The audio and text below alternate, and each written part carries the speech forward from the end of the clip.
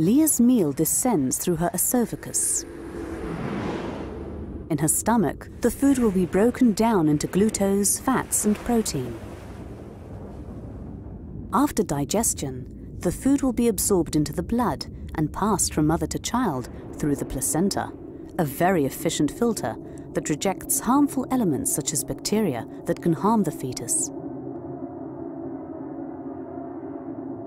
Smaller elements can pass through the barrier oxygen, glucose, fats, protein, vitamins, minerals, and in addition, caffeine and alcohol.